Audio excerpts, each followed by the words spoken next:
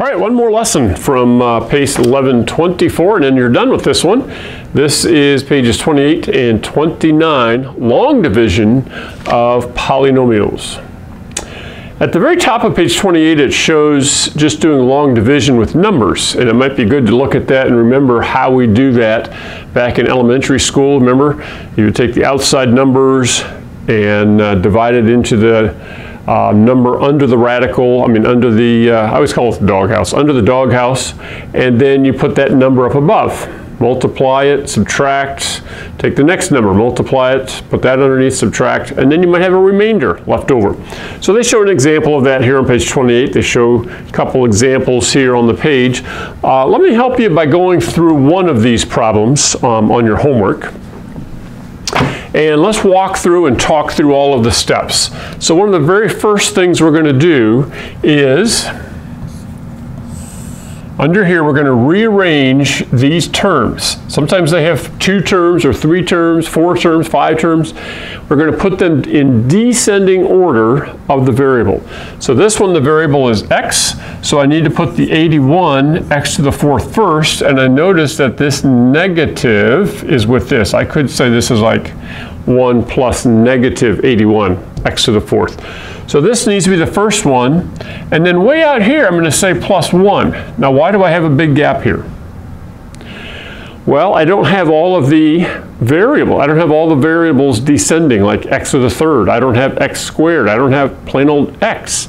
So I need to leave space to put in plus 0 x to the third, plus 0 x squared, plus x plus 1.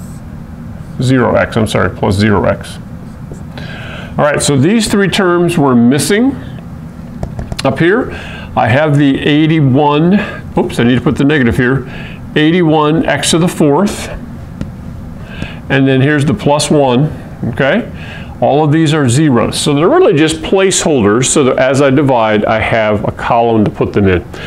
Now, I'm going to take these two, I'm going to switch the order because I want to do divided by 3x plus 1. All right? Now we're going to take just this term right here and divide by just the 3x. That's all we're going to look at. What is 81 divided by 3? I want to say it's negative 27. Okay? Yep. And then x to the fourth divided by x is going to be x to the third. You know what? Let me, uh, what we like to do is line it up over here. So negative 27x to the third. That way it's over the x to the third. Now we go back and we multiply this times this. So I get negative 81 x to the fourth. Negative 27x to the third times 1 is negative 27x to the third. Okay? Here's where most students make their mistake. We are subtracting these. So I always tell students just go through and change all of them to their opposites and then add. That's the easy way to think about it. So we're changing this now to positive, changing this also to a positive. Now I can add and this will cancel out. And that was our whole purpose. We're trying to get that term to cancel. What do we get here? 27x to the third. I'll go ahead and bring down the next term, which is 0, x squared. All right, 3x divides into 27x to the third. How many times? Well, 27 divided by 3 is 9. And I'm going to have x squared. Let's check it out. Let's multiply this times this. So 9x squared times 3x is indeed 27x to the third. 9x squared times 1 is 9 x squared. Now we're not done. Remember, we're going to change these to their opposites. This was positive, now it's negative. This was positive, now I'm going to make it negative. Now when I add, this cancels, yay! I bring down the negative 9x squared, bring down the 0x. Let's move a little faster here. 3x into negative 9x squared is negative 3x. Negative 3x times 3x is negative 9x squared. Negative 3x times 1 is negative 3x. Change them to their opposites. add. This cancels, okay? Now we bring down the 3x and we bring down the 1. looky, looky, looky! 3x plus 1 times 1. Multiply 1 times both of those, subtract. In this case, it looks like we don't even get a remainder. Cool.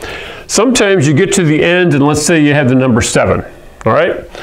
We don't in this case, but let's say we did. Then you would write that as 7 over the divisor 3x plus 1. All right, that's not the answer, so I'll erase it.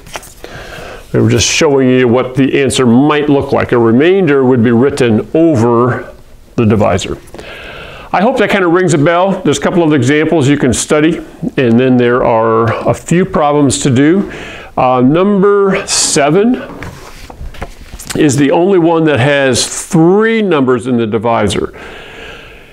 It looks tricky, but actually you're just going to look at the x squared and divide that into each successive term. But then when you distribute, when you multiply, you're multiplying it times all three of the terms that are in that divisor. Okay? So hopefully uh, you can do well on those eight problems on that page, and then you really are done. You have a review page, you have a checkup, and then we're at the self-test, PACE test, and uh, we'll see you in PACE 5 coming up, right? Yep, 1125.